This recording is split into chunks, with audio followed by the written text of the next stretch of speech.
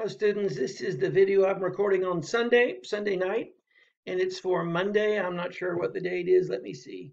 This is for Monday, April the 27th.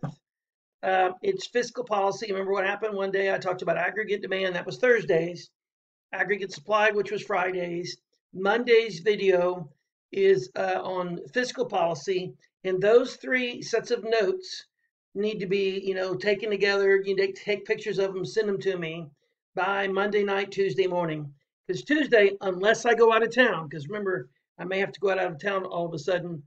Unless I go out of town, Tuesday, you're going to be doing one of these face to face, like we did a couple weeks ago, where I ask you a bunch of questions on this. So we've done three days worth of notes. This is the third set, and this is going to be our first um, quiz we've done in a while. Okay, so uh, fiscal policy. So go ahead and, and title your paper this way, and we're going to move on here. Okay, we're still playing off this one graph here, the same graph we've been working on. I've been reading up on what the other AP teachers are saying, and they believe that you are still going to have to understand these graphs, even though apparently you don't have to draw them. Um, all right, so my goal is in the future is to try and get your assignments to you at 9 o'clock the night before. I know a lot of you are nocturnal creatures. By the way, I talked to my son today. Now that we've learned how to do Zoom, we're doing these Zoom family chats. And my son is a video game designer. Right now, he's working making government apps. It's all top secret. If he tells me what he's doing, and he has to kill me. But uh, I told him, I said, well, this this coronavirus hasn't changed your job at all. He is working at home now. You stare at one screen, writing computer apps, and then you go to another screen and play video games. That's all you do all day. And he laughed. He goes, yeah, Dad, I just want to give you some computer programmer slang. He goes, yeah, Dad. He goes, we call that um, bad screen and good screen. He goes, so I work all day doing my bad screen time, and then I get to play video games my good screen time. Uh, anyway, little little slang there for you. But I know a lot of you, like him, just like I tend to do if I don't pay attention over the summer. A lot of you are sleeping until like two or three o'clock in the afternoon and doing your work at night. And I don't really have a problem with that. I mean, um, that's how a lot of people live their lives. So I intend to give you these videos, and then you can do them whenever you want uh, but you need to be ready Tuesday for your essays.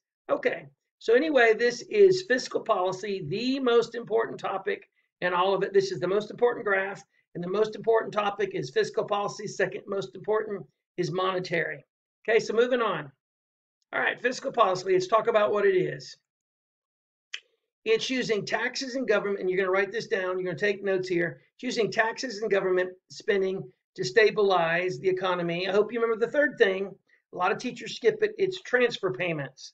And you, you're going to write that down later. You don't need to write that down now. It's using taxes and the government spending to stabilize the economy. And it's controlled by president and the Congress.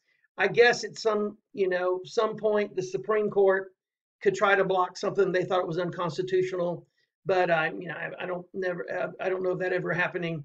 But control, I'm sure there's some examples. Controlled by president in the Congress, uh, and there's some terms for, you know, discretionary fiscal policy. Uh, and this means it's up to the government. Some things are discretionary. And, you know, I don't know if you've ever heard the term where people say, you know, do what you want at your discretion. So uh, I don't know about the definition here in the lecture. I would say this is discretionary fiscal policy is what the government chooses to do. Okay, remember, all spending bills originate in the House of Representatives, must get approved by the Senate, approved or not approved by the president. They can override his veto. You're supposed to know all that from government.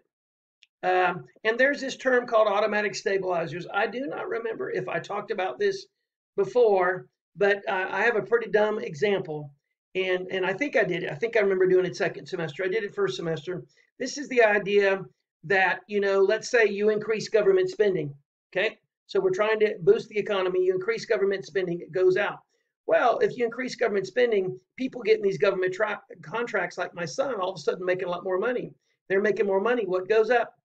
Taxes. And so let's say, um, and I'm gonna, I always use the example of someone slamming on brakes and you mostly go forward and then you go back a little bit. So an automatic stabilizer means if the government spends a lot of money, yes, they're going to have to spend tax money to do that. The deficit might get bigger. But as they spend money, people getting this money are going to pay more in taxes. So the economy goes up. We're, we're going to just throw some math in here. It goes up $100 and then it comes back $10. Okay. And vice versa. if the economy goes into a recession, demand drops. Um, government, um, you know, uh, people are making less money, so they're spending less money. But if they're not making money, their taxes go down. So the government goes, the the economy goes way down, but then it comes back a little bit because people have are not spending as much in taxes. And I hope that makes sense. It may not. I tried to use an example of a spaceship one year, and my AP macro kids about three years ago told me it was the dumbest thing they've ever heard. I do try to go way out on a limb trying to explain stuff to you. If you're having trouble understanding it, email me or look up a Clifford video. Anyway, I've already spent more time on that probably than it deserves. Okay, types of fiscal policy. Okay, two types. Expansionary. I'm not going to get up and show you, you know, someone getting fat. I always tell the story about the t-shirts. Expansionary, you want to put some gas into the economy or you want to pump the accelerator. Expansionary, you want to speed it up. Contraction, um, okay, all right. And this is used to fight a recession. So go ahead and write these notes down. And here's the three things lower taxes, increase government spending. Now remember, this is your go to answer. So Wednesday or Tuesday, whatever day we do these questions that I'm going to give you, if I ask you we're in recession, what's the easiest thing the government can do? You, you can put lower taxes, but the easiest thing to do is say increase government spending. Okay? This big stimulus that the government just sent everybody, is really not government spending. They're giving people money. It's just, and they're really not even, for most people, they're giving them money like for us. We got some money, but we pay quite a bit. And, You know, we're not millionaires. But what they're really doing is giving me back some of my tax money from last year. So it's pretty much operating like a tax cut because I haven't spent it all yet. Uh, so there's anyway. I don't want to get off topic here, but this this the stimulus they did is not when Obama did a stimulus it was really boosting the economy. They actually increased spending. This is kind of like a tax refund or lowering of taxes. Just remember, I'm getting a little ahead of myself here. We talked about this in detail. Which one? We're not going to do multipliers this time. That's that's going to be probably in Tuesday, you know, Wednesday's video, Thursday's video. We will talk about multipliers right now. We're not going to worry about that. Which has a greater effect on the economy? Increase in spending or a decrease in taxes? And the answer is spending because when you spend, all the money goes in the economy. When you give a tax decrease, a lot of it, some of it people don't spend, so it doesn't have that effect. Anyway, here's the two main things. There is the third one. I want you to write it down. Increase government transfers. And that's like welfare, food stamps, military retirement, Social Security. The definition of a government transfer, I don't like it, but the, the literal definition is uh, people getting money from the government they haven't earned. I would argue that Social Security is kind of what you earned, and definitely your military retirement is what you've earned. But whenever a transfer of wealth is when the government takes money from one person and gives it to another person. And that's what, when you raise taxes on people who are, have jobs and you give to people who don't have jobs, or you, you raise it on one group and give it to another group, whether or not, not they've got jobs, that is a transfer of wealth. So increasing government transfers is the third one. It's very unlikely they'll use it, but you might. All right, these are the th three types of expansionary fiscal policies. And the one, like I said, go, your go-to one is increase government spending. Uh, and if you don't, if you're not sure, you got a 50-50 shot: increase government spending or decrease government spending. All right, let's do contractionary. Contractionary used to fight inflation. Um, this is when they are trying to slow the economy down uh, they raise taxes, they decrease government spending. That's where the government is spending, let's say, uh, $100 billion a year buying new new cars, new Jeeps, whatever, new trucks, whatever for the post office. And then all of a sudden they say, okay, we've been buying, you know, this much every year. Next year we're not going to buy it. And so the company that was making them now doesn't have that money. And so they can't pay their employees who can't pay their child support and that people getting the child support can't buy feed you know can't go to the pizza hut drive through and has a multiplying effect. And so uh, we don't want to talk about the multiplier yet though. They're slowing the economy down. So raise taxes. Remember raising taxes is generally considered to be bad. I know a lot of you guys in your age group think it's a good thing. Well you wait till you're paying them we'll see. I know some of you already have jobs. Very likely that when you start making money you're going to have a totally different opinion on taxes. You might want to ask your parents about that one. Decrease government spending. And the third one, decrease government transfers.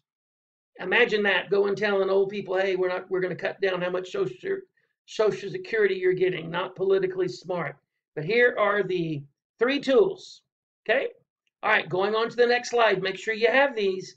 These will play prominently in your Tuesday questions. I'm probably going to do like I've done before. I'm going to call you in one in time and give you like three questions. On this one, I'm probably not going to let you miss one and get 100%. Maybe I'll ask you four and you got to get three right. But I'm going to expect you because this stuff is so important to get, you know, pretty much all of these right. All right, moving on. Expansionary fiscal policy. Okay. So here is the definition. Increasing government spending or cutting taxes, and it's going to shift AD to the right and increase output in the price level. My goal tonight is, remember this is Sunday night, my goal tonight is to get this thing done in 15 minutes so we don't have two videos, we have one. And right now we're almost at 11 minutes. Okay, here is the graph. And I want you to pause the video and copy this. Okay, so you got price level and real GDP. So what happens is this is a recession, remember. The government boosts spending. Remember, this is C plus I plus G plus X minus IM. Remember that? And this is G that's being increased. If you increase government spending, this thing shifts to the right. Now, what's the loss here? The bad thing? Well, inflation goes up. What's the good thing? GDP goes up, means the economy is starting to hum. People are getting jobs. And uh, if GDP is going up, that's synonymous with employment going up, then unemployment is going down. Okay, make sure you understand that. I might ask you on whatever day you do your quiz, Tuesday, I'm hoping, I might say, hey, if AD goes up, what's the win? What's the loss? So make sure that you have all this down. You're not going to be able to look at your notes because we're going to do these really quickly. It's, it's, it takes me a long time to give a face-to-face quiz to 60 kids in a couple of hours. All right, moving on. Contractionary fiscal policy, raising taxes or reducing government spending, or of course, um, cutting government transfers to fight inflation and stabilize the economy. Write that down, and here again is the graph. So let's talk about oh, what happens here.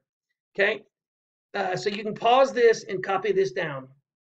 Okay, now here's what's happened. The government, we're going to just say they have decreased government spending. So they're now not buying those postal trucks.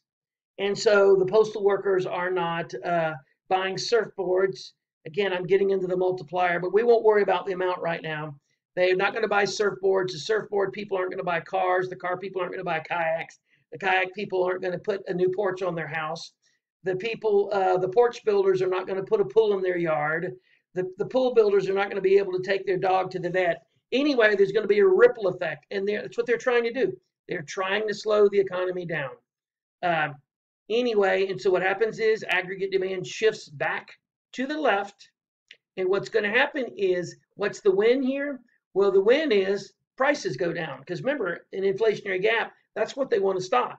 They inflation, remember, is considered just as bad as unemployment.